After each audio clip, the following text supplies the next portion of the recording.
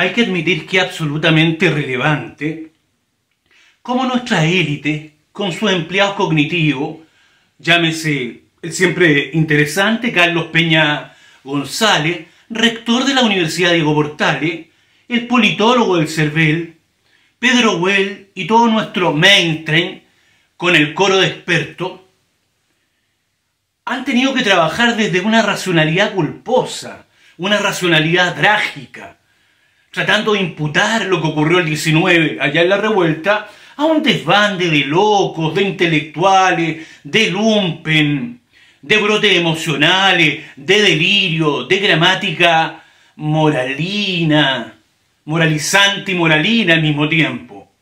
Yo rescataría lo siguiente, pese a la crítica demoledora que hay que hacer al mismo tiempo a la revuelta, sin duda alguna. La revuelta lo que hace es desmantelar los imaginarios, el tren del progreso, los cánticos de sirena o las luces de Bengala de la modernización chilena como paradigma, como ejemplo, Forexport, a los Cardoso, anteriormente a los Color de Melo, a la Uribe Noche en Colombia, al Fujimorato en Perú, a Menin y a Macri en la Argentina, y así prácticamente para toda la región nuestra élite con sus centros de estudio y su heraldo, los expertos quiero decir, exportaron esto como un modelo primermundista, ¿ya? Como si acaso nuestra entrada a la OCDE fuese genuina, con capas medias de sueldo intermedio o alto, según los indicadores Gine o de la propia OSD. Entonces la revuelta desnudó, develó, ¿ya? Como quien impugna la condición pornográfica y factual del capital. ¿Qué es lo relevante de esta condición de zozobra, de sonrojamiento de la élite y sus administradores cognitivos, su funcionariado el día de ayer en distintos medios, con los Nico Vergara, con los Nico Valenzuela? Bueno, esto mismo, que en definitiva todo ese tren del progreso, todo ese Meche, ese Mercedes-Benz, que es una máquina perfecta y perfectible, como decía Piñera a Juan Manuel Astorga, se viene abajo, porque la revuelta raya el parabrisa, impugna e imputa algo así como la racionalidad anárquica y la acumulación infinita de capital. Esto me parece que es la lectura más sutil y más política respecto de lo que es una revuelta en el siglo XXI y en un contexto de gubernamentalidad alogarítmica, like, siempre likes, ¿ya? a logaritmo, etcétera, siempre ahí. Entonces, este, este ánimo, diría yo, que está en los Peña, lo voy a decir así en plural, por concitar a este mundo, y decir, no, que se trató de una embriaguez, de una borrachera, y pongámonos de acuerdo ahora en torno a un nuevo pacto social y dejemos atrás la resaca que a todos nos golpeó y que desbandó a capas medias profesionales, al mundo popular, al campo intelectual, a las organizaciones de la sociedad civil, como que se hubiera tratado de una borrachera colectiva. No, lo que ocurre en 2019 tiene que ver con una desigualdad estructural ciertamente sin partido, sin orgánica, sin horizonte normativo, menos horizonte utópico, ni que hablar de proyecto de sociedad. Una revuelta es esencialmente, es desobrante, no actúa por operatividad. Lo que hace más bien es destituir o desplazar la máquina mitológica que introduce algo así como un capitalismo alegre, con toda su joya, su arabesco y su orquesta con todos sus instrumentos sonando a plena orquesta. Y eso parte en el caso chileno, en nuestra parroquia el año 81 con el pie chiquitito y culmina el 90 en primera tanda con el pacto entre civiles y militares, recordando al erwinismo. Un paréntesis, el discurso del presidente Boric el día de ayer razonable en este contexto. Muchos podrán decir que hubo una cierta impronta elwinista o ñuñoína, pero razonable. Lo que pasó en la noche no es razonable ni para un lado ni para el otro. Una violencia inusitada, un vandalismo generalizado, injustificable, salvo con un matiz en nuestra espantosa guerrilla de precio y en el estado de la hambruna que padece este reino. De otro lado, la represión esperable y que tal vez irá increciendo de parte del gobierno transformador. Bueno, hay otra pregunta o una, otra lectura sobre la revuelta.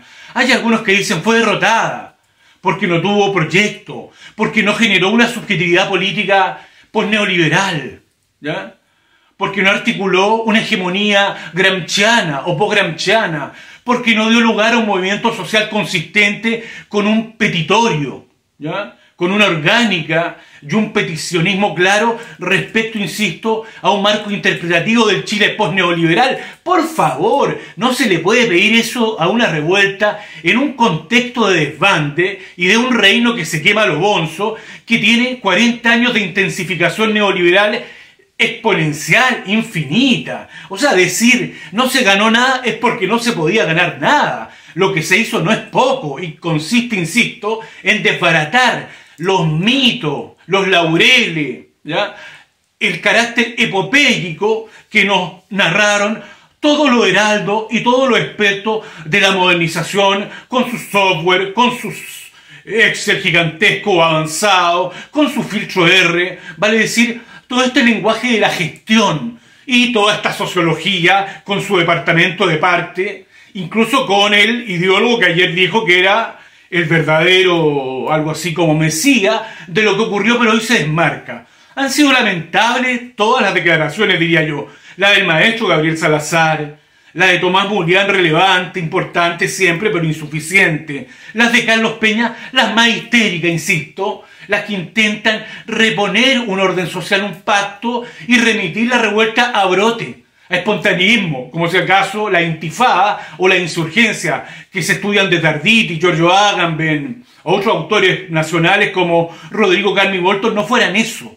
No le pidamos un momento de concretitud, de plan político, por favor, de programa de acción, o de una suerte de, ¿cómo llamarlo?, de hegemonía en la versión más clásica a una revuelta, porque una revuelta no es eso. ¿ya? Es un acto de incomprensión y una sopina ignorancia a propósito de las gramáticas que utiliza el rector Carlos Peña. Siempre interesante, siempre elocuente, sin ninguna duda. Pero por favor, permítame la redundancia, una revuelta no puede ser caracterizada de esa manera. Yo creo, y con esto culmino, que en algunos aspectos la revuelta ayer ganó mucho y también perdió bastante. El paso del tiempo, del padre tiempo, nos permite decantar los procesos. Pero si hay un sector de la izquierda que le hace un flaco favor a la revuelta, ¿ya? ya el caso chileno del 19, tiene que ver con esta izquierda attack, la de Chomsky, la de Atilio Borón, la del Foro San Paulo, la de los trotskistas francés, que intentan impugnar a la revuelta porque no generó un cambio estructural.